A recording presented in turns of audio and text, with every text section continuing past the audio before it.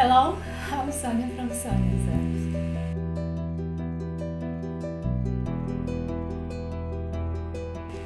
Sonja's Apps does uh, SharePoint edits that are sold at the Office App Store. Last year I got the award from the Office App Awards as a Best International Developer.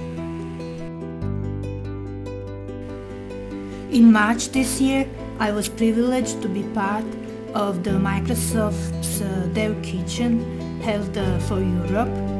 I got to learn the new SharePoint framework and uh, I wanted to make an interactive, beautiful and useful web part. So uh, I made a SharePoint feed web part.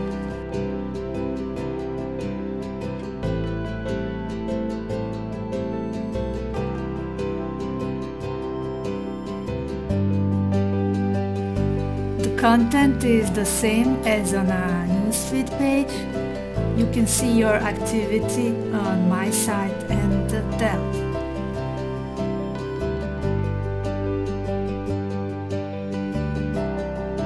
You can see who liked the post and by clicking on a smiley again you can uh, hide it. You can like the post. It is easy to upload a picture and post to a feed.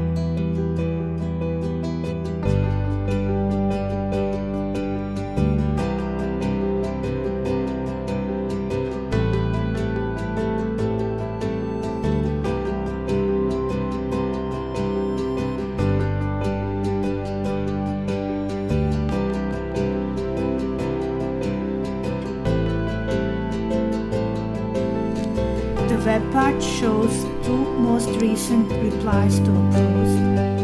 When you click on Show All, you can see all replies.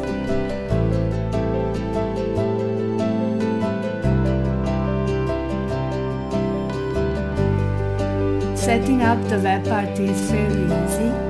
Per default, it does not allow image upload. You can set the library for images in the property I hope you liked the web part. You can find out more about the web part and about Sonja's Apps at uh, sonjasapps.com.